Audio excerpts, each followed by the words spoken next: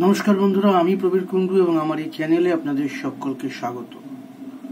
পৃথিবীটা নাকি ছোট হতে হতে স্যাটেলাইট আর কেবিলের হাতে ড্রয়িং রুমে রাখা বোকা বাক্সেতে বন্দি।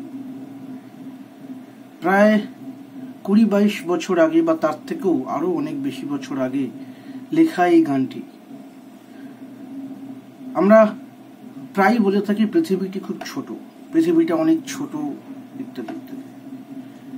কিন্তু এই যে কাবুলে, আফগানিস্তানে তালিবানরা যা করছে, যেটা হচ্ছে, সেটা দেখে আমার মনে হচ্ছে পৃথিবীটা মোটেই ছোট নয়, খুব বড়।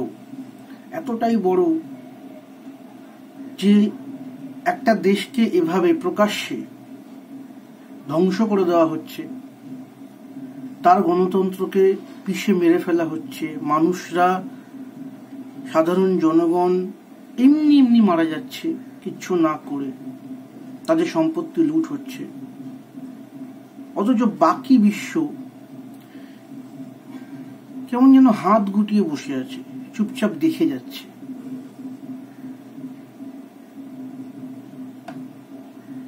তাহলে কি করে বলব যে পৃথিবীটা ছোট? আমার পাশের পাড়ায় বা পাশের বাড়িতে যদি কোনো ঘটনা ঘটে, যদি কোনো বিপদ হয় এবং যদি ঠিক তার পাশের ফ্ল্যাট থেকে, পাশের ঘর থেকে কেউ তার বিপদে ছুটে না যায়, তার বাড়িতে আগুন লাগলে যদি জল না দেয়, তাহলে কি করে বলব যে আমরা কাছাকাছি থাকি, আমরা একটা ছোট জায়গার মধ্যে থাকি? আসলে আমরা অনেক দূরে থাকি।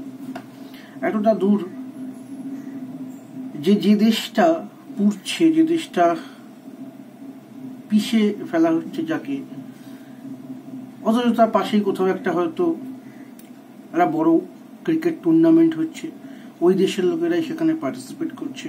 কোথাও হয়তো একটা ফিল্ম ফেস্টিভ্যাল হচ্ছে, কোথাও হয়তো একটা ইলেকশন হচ্ছে, কোথাও হয়তো কোনো একটা বড় উৎসব হচ্ছে। একই সাথে সাথে ওই দেশটা চলছে অর্থাৎ পৃথিবীটা ছোট নয়, অনেক বড়। এবং এই এই ভাবনা থেকে আমার মনে হলো, এই যে ভারতবর্ষ দেশটাও না, আমার মনে হয় একটু বেশি বড়। আপনি দেখুন, আমি অনেক সময় অনেক ঘটনাতে দেখেছি, এটা এখন আরও বেশি করে আমি ফিল করতে পারছি।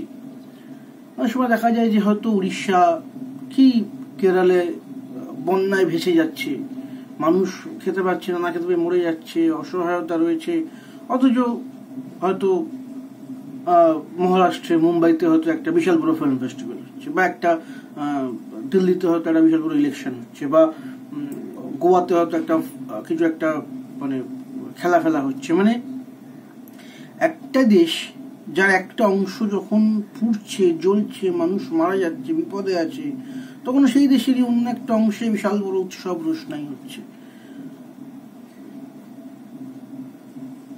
আমার মনে হয় এটা যদি না হয় তাহলে ভালো হবে।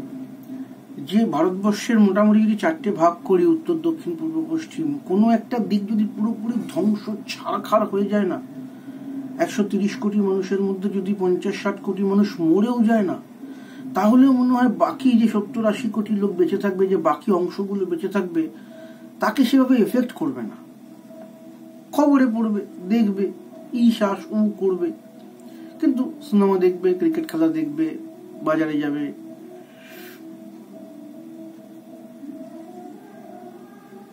পৃথিবীতে এত বড় না হলেও হতো, একটু ছোট হতো। আমরা সবাই একটু কাছাকাছি থাকতাম। একটাই দেশ হতো, একটাই পতাকা হতো।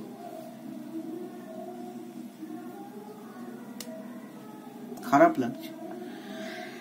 যে ঘটনাগুলো সামনে আসছে, এই যে প্লেনের দৃশ্যটা যেখানে লোকগুলো প্লেনের চাকায় ঝুলে ইঞ্জিনে বসে লোকজন ওখান থেকে পালাতে চাইছে। তার মানে কতটা খারাপ অবস্থার মধ্যে রয়েছে দেশটা বা ভবিষ্যতে যাবে সেটা বোঝা যাচ্ছে। এবং পালাতে পারছে না মাঝে রাস্তায় মানে প্লেনে করে ওরকম ঝুলে যাওয়াটা কতটা মানে কি এক্সট্রিম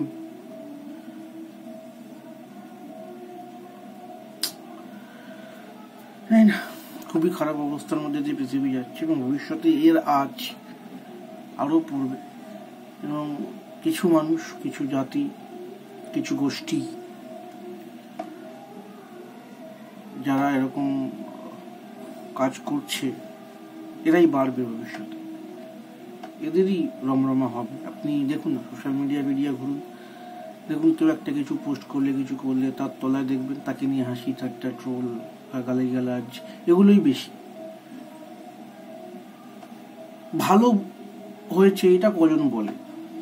একটা কাজ যদি সে কেউ করে, সেটা যদি খারাপও হয়, কজন বলে? সে যে, না, দাদা, আপনারটা বা স্যার বা দাদা বা দিদি বা যে কেউ ঠিক আছে, আপনারটা হয়েছে, আরও ভালো করতে হতো। এই যে, এই জিনিসটাই বা কজন বলে? সকলে এসে আপনাকে এমন ট্রোল করবে, আপনি কোনো কাজ করলে আপনাকে এমন ব্যঙ্গ করবে, যেন মনে হবে সে অস্কারটা পেয়ে এসছে বা সে নোবেলটা পেয়ে এসছে।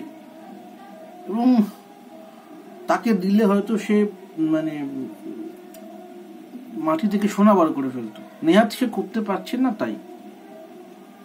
এই জিনিসগুলো বাড়ছে।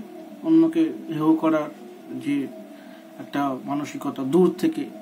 আমি আমার বাড়িতে বসে টাইপ করলাম, কিরে গান্ডু? আহ, কি মজা আমার লাগল। অথচ এর মধ্যে কোনো যুক্তিকতা নেই, কোনো কিছু নেই। এসবই চলছে, এসবই বাড়ছে। এসবই হবে ভবিষ্যতে ভবিষ্যৎ খুব খারাপ। মানুষ জাতিটা ধ্বংস হয়ে গেলে ভালোই হবে। এই গরু, ছাগল, বাঘ, এরা ঘুরে বেড়াচ্ছে, পাখি, সাপ, এরাই ঠিক আছে। পৃথিবীতে এদের জন্যই থাকা উচিত। মানুষের উপযোগী নয়। যাক, ধন্যবাদ আজকে ভিডিও।